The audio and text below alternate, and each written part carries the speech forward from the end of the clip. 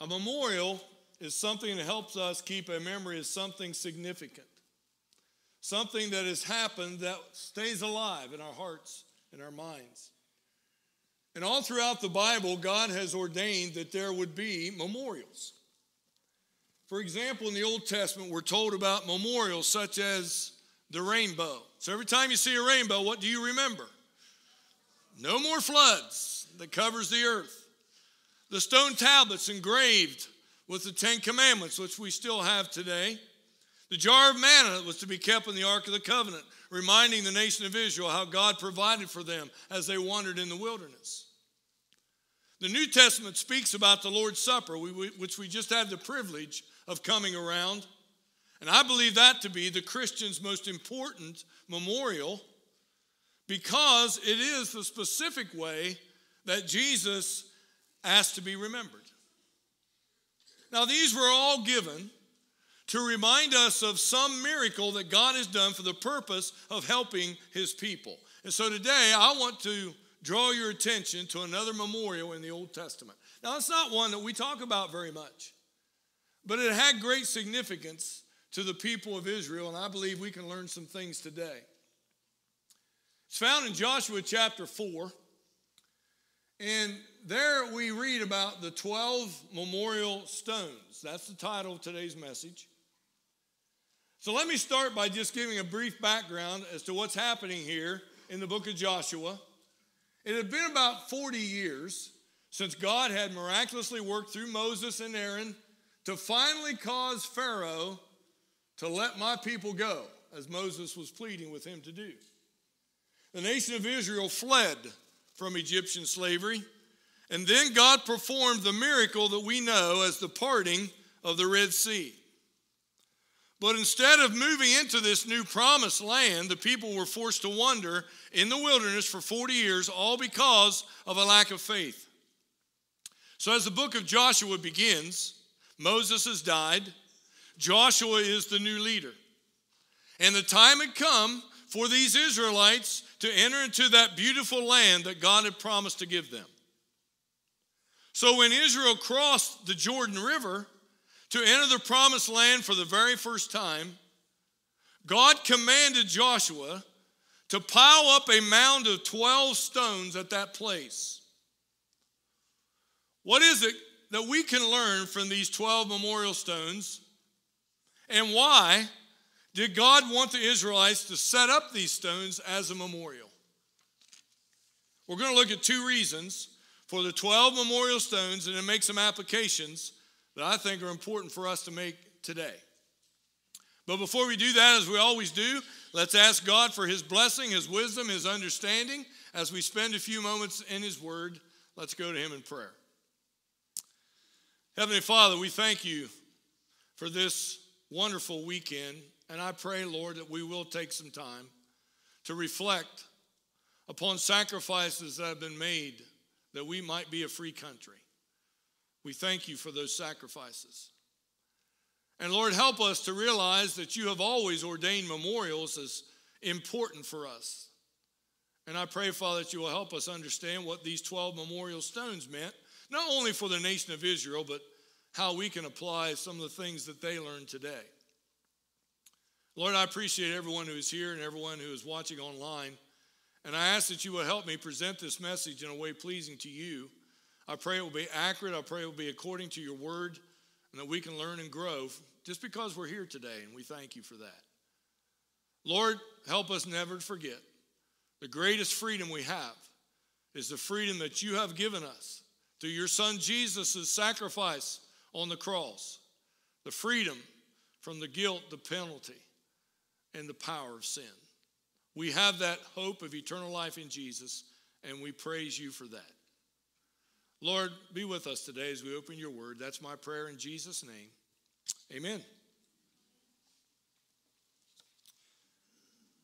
First reason for the 12 memorial stones in the Old Testament God wanted to shake their memory. I want to start in Joshua chapter 4, verse 1, describes what's happening. Now, when the entire nation had finished crossing the Jordan, meaning the Jordan River, the Lord spoke to Joshua, saying, Take for yourselves 12 men from the people, one man from each tribe, and command them, saying, Take up for yourselves 12 stones from here, out of the middle of the Jordan, from the place where the priest's feet are standing firmly, and carry them over with you, and lay them down in the encampment where you will spend the night. And then at the end of verse 7, we're told why. These stones shall become a memorial to the sons of Israel forever. They were to serve as a reminder of the miraculous crossing of the Jordan River to all succeeding generations. You see, I, I, believe God knows something about all of his people. That's the reason we have memorials. I believe God knows that we have a tendency to forget. That sometimes we have to face bouts of memory loss. In fact, Moses had warned Israel about their problem of forgetting. The book of Deuteronomy was written only a few months before the crossing of the Jordan, and Moses challenged the Jewish people to remember what God had done for them. Now, there are many places in which he has done this. I'm only going to use one verse. Deuteronomy 16, verse 12 says, You shall remember that you were a slave in Egypt, and you shall be careful to observe these statutes. And he's talking about all the various laws that they were to follow as they were entering into the promised land. So, this heap of stones would be a visual reminder of what God did at the Jordan River. Today, the Lord's Supper is our visual reminder of what God did for us at a place called Calvary. Do you remember Jesus every Sunday by observing this wonderful spiritual feast? The stones would also remind the Israelite nation of God's miraculous power. Now, normally, whenever we think about God's miracle of parting waters, we think about the parting of the Red Sea. And that's understandable. Obviously, the Red Sea was a whole lot bigger than the Jordan River. Seldom do we reference this crossing as anything very special. But I want you to notice a couple of verses in chapter 3 of the book of Joshua. Verse 15 tells us that when the priest carrying the Ark of the Covenant stepped into the Jordan River, it was during the harvest. And that meant it was during the flood season. In fact, verse 15 says, For the Jordan overflows all its banks all the days of harvest. You say, well, what does that mean? Scholars have stated that during the flood season, the Jordan River could swell to a width of eight miles in spots.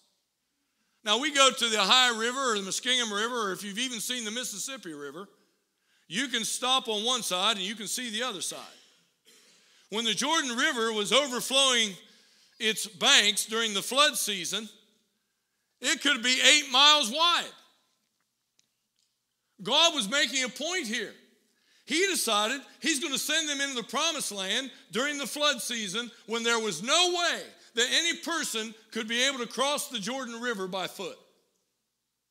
It was to show God's power. And then verse 16 states that the waters that were flowing down stood and rose up in one heap a great distance away at Adam. Now, what's he saying here? Once again, to show his power, God caused the Jordan River to stop at the city called Adam. Now, here's what's significant about that Adam was 20 miles upstream. So, for 20 miles, the river was dry. And that left plenty of room for the 600,000 Israelite men, along with the women and children, to cross over on dry land. And then, after everyone crossed over, Joshua instructed those previously selected 12 men, one from each of the tribes of Israel, to go back to where the priests were standing and take one stone each representing the 12 tribes and bring them to their lodging place. They were to be stones of evidence that God had performed a miracle, that He had allowed the nation of Israel to enter a land that had been promised to them for many generations. So these stones represented a transition for God's people. From wandering in the wilderness to having stability in the valley. Now, I'm sure to many people the stones were nothing more than just a pile of rocks, an obstacle in the way. But for the most part, those Israelite people remembered when they look at those stones what God had done for them. Verse 24 tells another way these stones would shake the Israelites' memory so that you may fear. That word means have a deep reverence and respect for the Lord your God forever. These people were to be reminded that they could not have crossed the Jordan's River without God's help. They could not be where they were by their own strength. That is why the stones were put there. They were a memorial of faith, reminding them that what man couldn't do, God can do. And God did do. The 12 stones reminded them that they had passed from slavery to freedom, from hope perceived to a hope received, from talking about milk and honey to drinking milk and eating honey. These stones were there to shake their memory. Yes, we all have a tendency to forget. And that's why Memorial Day is important. We can't forget the sacrifices that men and women have made for our freedom. And it's also why we need to place some stones of remembrance in our lives today. We need to remember what a great God we have. So, why did God want the Israelites to set up these stones as a memorial first, to shake their memory, second, to help them to share their faith? Our text indicates here that one day the children are going to ask about the stones. I want to pick it up, chapter 4 of Joshua, verse 6, which says, When your children ask later, saying, What do these stones mean to you? Then you shall say to them, That the waters of the Jordan were cut off before the ark of the covenant of the Lord. When it crossed the Jordan, the waters of the Jordan were cut off. So these stones shall become a memorial to the sons of Israel forever. And then if you drop down to the beginning of verse 21, he explains it even more.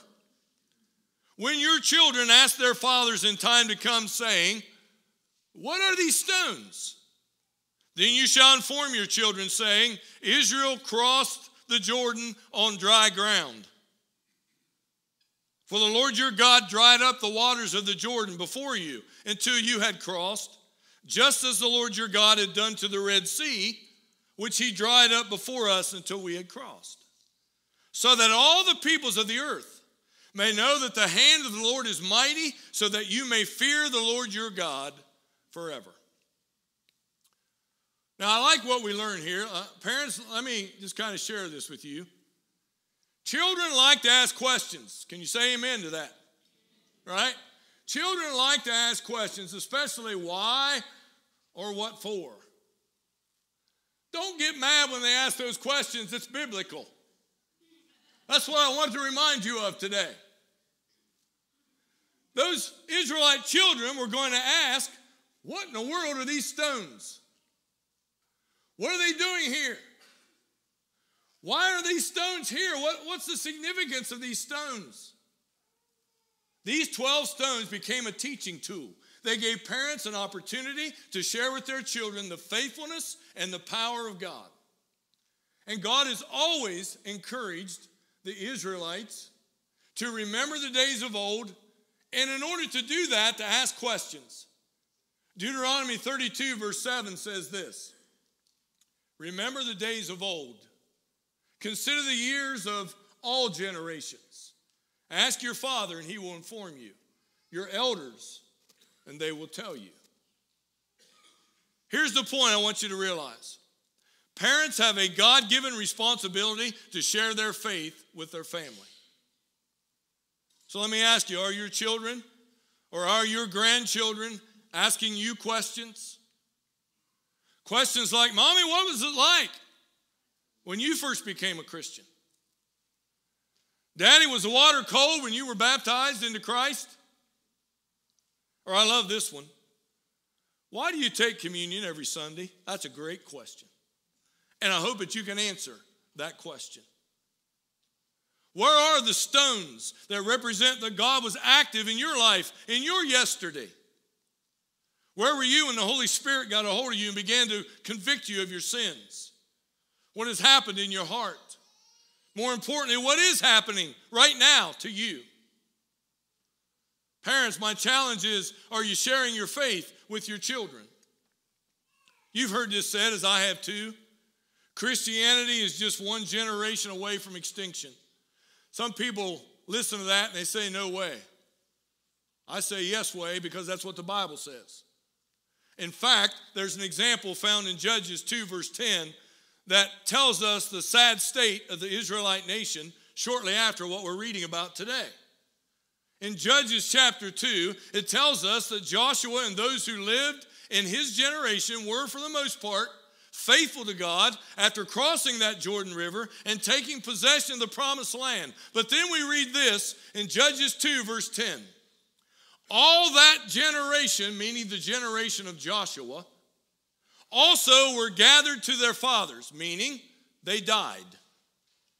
And another generation rose up after them who did not know the Lord, nor even the work which he had done for Israel.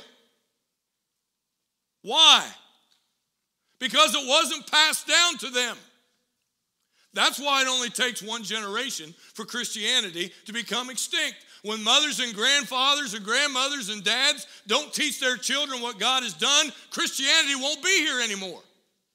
Can you see how important it is for us to share our faith?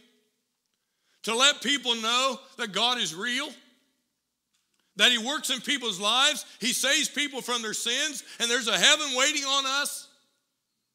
We have that responsibility. And if we don't get up some stones, if we don't make a conscious effort to share what God has done in our lives and in the lives of others, the next generation will forget what God has done. That's why Romans 10 17 to me is so very important when Paul wrote, So faith comes by hearing, and hearing by the word of Christ.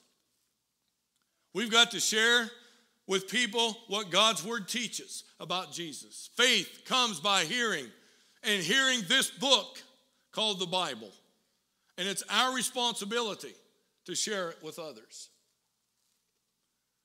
One final point I want to make not only were these 12 memorial stones meant to be a means to share their faith with their children and remind them of God's power, but the 12 memorial stones were also assigned to the world. Verse 24 says that all the peoples of the earth may know that the hand of the Lord is mighty. Like those 12 memorial stones in the Old Testament, our Christian lives should reflect God's work and God's power. Today, we are to be living stones, according to 1 Peter 2 5, giving testimony to the great things that God has done in our lives. Here's what Peter writes 1 Peter 2 5. You also, as living stones, are being built up as a spiritual house for a holy priesthood to offer spiritual sacrifices that are acceptable to God through Jesus Christ. So when those Israelites looked at the 12 stones, the question was asked what do these mean? When people look at your life, a living stone, many will ask, What does this change in your life mean? You're not the person you used to be. Has there been a change in your life since you've been saved, since you became a Christian? My challenge is if there's no change in your life, then I wonder if you're really saved. Do you remember that day when you gave your life to Jesus? Because that's the greatest memorial stone that you have. And I just pray there's no one here this morning that has forgotten what God has done for you. All I'm trying to get you to see is that there should be evidence that God is at work in your life, through your life, and over your life. Everybody ought to be able to testify this morning that God has been with you, that He has helped you. And when I say testify, I mean give an eyewitness account for yourself what God has done when you face the Jordan rivers of your life. point out where the stones are. Be able to say, I remember when, and then fill in the blank as to how God has helped you. My mom used to do that all the time. I didn't realize how poor we were when I was growing up because we always had food on the table. And then my mom would tell me stories about how my dad would maybe give someone some hay and they didn't have the money to pay him. And then mom and dad wouldn't have any money to go to the grocery store, and all of a sudden a check would come in the mail from someone that had bought hay from him a year earlier. And she'd tell me these stories over and over and over about how God had blessed us. I still remember that. And it caused me to think this week about what my testimony should be. I just want to share a few things that I remember. I remember when Deb and I owned no furniture, we were married seven years before we bought our first piece of furniture. Oh, we had a few hand me downs, but it took a while. I remember when we lived in a 10 by 50 mobile home. I remember when we were staying at my in law's house. I remember my first job when I was making $3 an hour. I remember when I wouldn't go to church with my wife, she stayed faithful. I remember when the doctor called me on the phone to tell me it was cancer. I remember when I was working all the odd shifts and the long hours to make ends meet, and God was there all the time. And I certainly remember that day on May 11th, 2000, at 4 o'clock in the morning on a Thursday, when a knock on our door said, Your son has been killed in an automobile accident. Now, I just gave you some of my own personal testimony, but here's what I want to say I praise God because He brought us through every single one of those. And I praise Him even more because my life has been blessed. I haven't gone through near as much as most people go through in their lives. And I praise Him for that. And I know that each and every one of you here today can give a testimony to when God was with you in your time of need. When he was beside your bed, when he was in your car seat, in your home, at work, in the hospital, whenever the river was about to overtake you, God dried up the river right before your eyes and kept it dry until you and family. You were able to get across. You were able to get through that tragedy, that trial, that temptation. The truth of the matter is, God was and is working things out in your life, taking a mess and making it into a masterpiece, and He's still working those miracles today. Somewhere along the way, God has turned your test into your testimony. He has turned your pain into your pride. He has turned your sorrows into your strength.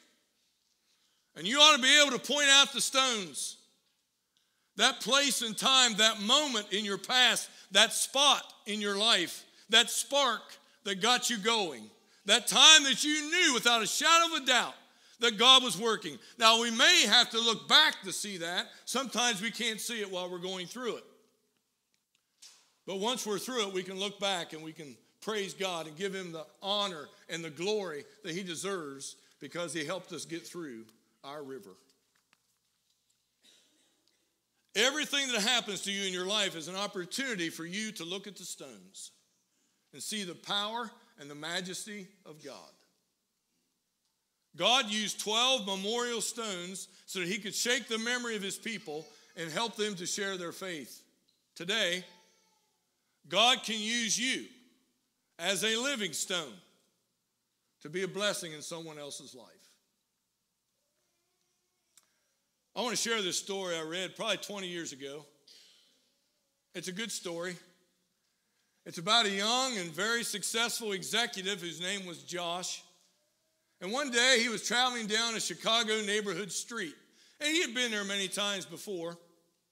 But he was going a bit too fast because he had bought two months earlier a sleek black 12 cylinder Jaguar XKE. Quite a car. Could go fast very quickly. But he was watching carefully for kids darting out from between parked cars. And he would slow down when he thought he saw something. And as he was passing this one dangerous spot, no child darted out, but a brick sailed out, boom, hit that Jaguar right in the shiny back door. He slammed on his brakes. His gears grounded into reverse, tires spinning. The Jaguar backed up to the spot where the brick had been thrown, and there was a young boy standing. Josh jumped out of the car, grabbed the kid, pushed him up against a parked car, and he began to shout. He said, Who do you think you are? What in the world do you think you're doing? And he built up a head of steam and he continued. He said, That's my new Jaguar. And that brick you threw is going to cost you a lot of money. Now, why did you throw it? And the boy was crying, tears were coming down his face. He said, Please, mister, please, I'm sorry. I didn't know what else to do. I threw the brick because no one would stop. As the tears continued to flow down his face, he said to him, It's my brother, mister. He rolled off the curb and fell out of his wheelchair, and I can't lift him up. And the boy continued to sob, and he just pleaded. He said, Would you please help me get my brother back into his wheelchair? He's hurt, and he's too heavy for me. Poor Josh was moved beyond words. And so the young executive tried desperately to swallow that rapidly swelling lump in his throat. Straining, he lifted the young man back up into his wheelchair, took out his handkerchief, wiped the scrapes and cuts, checking to see that everything else was okay. And then he walked with him to make sure that the younger brother was able to get them back home all right. It was a long walk back to that sleek, black, shiny 12 cylinder Jaguar XKE. Josh never did fix that side door. He kept the dent as a memorial to remind him not to go through life so fast that someone has to throw a brick at him to get his attention again. As the praise team comes forward today, if you're here without Jesus Christ as your Lord and Savior, don't wait for someone to throw a brick to get your attention. I can't end this message without referencing another stone found in the Bible.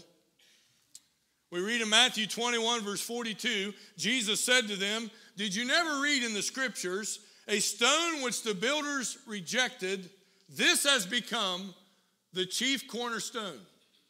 This came about from the Lord, and it is marvelous in our eyes. We're given even more insight later when Peter said in 1 Peter 2, verse 6, For this is contained in Scripture. Behold, I am laying in Zion a choice stone, a precious cornerstone, and the one who believes in him will not be put to shame. We all know today who that precious cornerstone is. Jesus Christ is said to be a precious cornerstone. My question to you is Is he your Lord and Savior?